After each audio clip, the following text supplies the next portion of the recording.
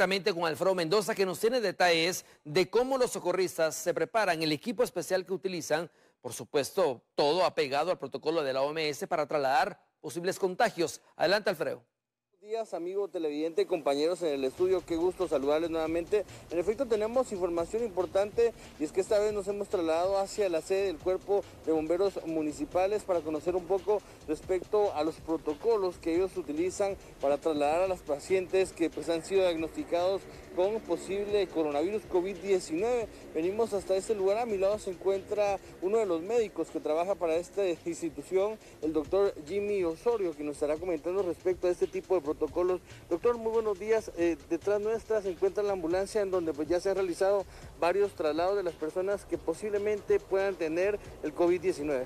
Así es, eh, la Municipalidad de Guatemala y el Cuerpo de Bomberos Municipales han entablado esfuerzos para implementar dentro de la institución eh, cuatro unidades, las cuales están disponibles para la población guatemalteca y brindar por medio de ellas traslados y atención a todos los pacientes sospechosos de COVID. Estas unidades pues se encuentran completamente equipadas, se encuentran asignadas en las diferentes estaciones, alrededor de las 13 estaciones de, que cuenta el Cuerpo de Bomberos Municipales dentro de la ciudad para brindar una atención a cada uno de, de los pacientes solicitados. Los protocolos que se implementan dentro del Cuerpo de Bomberos Municipales es que cuando ingresa un llamado de un paciente por medio de la cabina del 123 esta, y consideran que es un caso sospechoso o presenta alguna sintomatología asociada a COVID, esta llamada se pasa a médicos de la Dirección de Salud de la municipalidad y también de bomberos municipales, quienes brindan una atención, eh, una implementación de telemedicina a cada uno de los pacientes para darles un seguimiento, considerar realmente la sintomatología, poderle brindar atención también a cada uno de los pacientes por medio de, de médicos que se les da.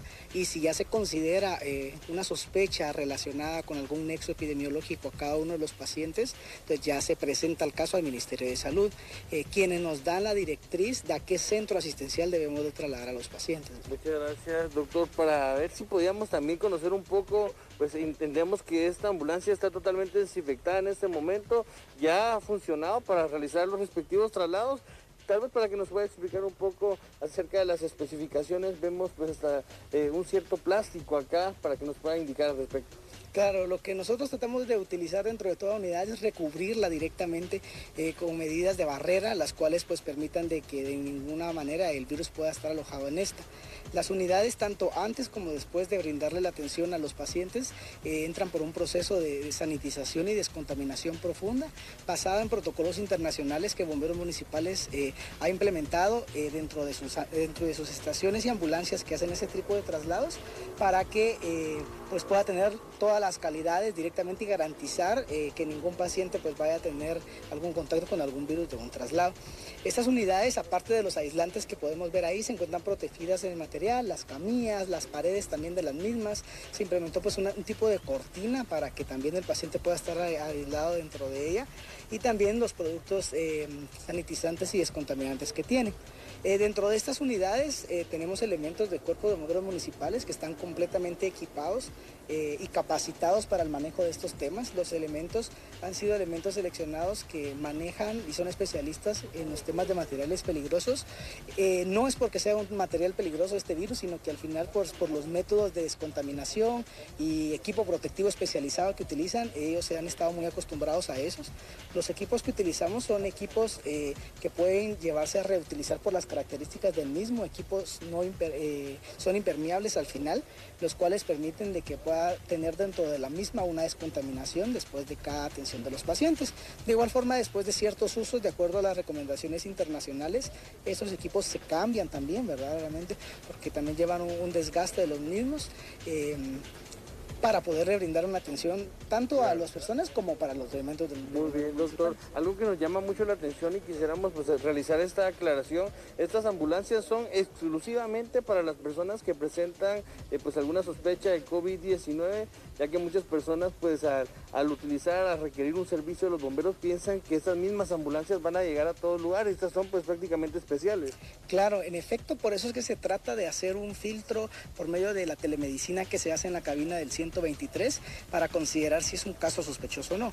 Si es un caso sospechoso, pues ya movilizamos estas unidades especializadas que forman parte del cuerpo de bomberos municipales para la, atención directamente que se le da a toda la población guatemalteca. Si no se requiere o si no se considera que sea un caso sospechoso, va a una unidad convencional que también lleva medidas de, de protección para cada uno de los elementos, procesos de sanitización y descontaminación. Eso lo hemos implementado en todas las estaciones y en todas las ambulancias del cuerpo de bomberos municipales, pero cuando ya consideramos que es un caso sospechoso, bomberos municipales brinda atención a cada uno de los pacientes en este tipo de, unidades para poderlo trasladar al centro asistencial que el Ministerio de Salud pues eh, lo requiera, ¿verdad? Gracias, doctor. Eh, importante información que nos brinda el médico Jimmy Osorio del Cuerpo de Bomberos Municipales. Esta es pues, la ambulancia, este tipo son las cuatro ambulancias que están funcionando para trasladar a las personas con sospecha del COVID-19. Es la información que tengo hasta el momento. Regreso con ustedes a Estudios Centrales. Buenos días. Bien, gracias Alfredo Mendoza por esta información muy clara, muy específica, para que usted conozca de qué manera se preparan los socorristas para cualquier eventualidad de COVID-19 en Guatemala. De acá en adelante, esta es la explicación que usted debe tener en cuenta, que se está llevando a cabo todo el protocolo que dicta la Organización Mundial de la Salud y la OPS. Vamos a la pausa.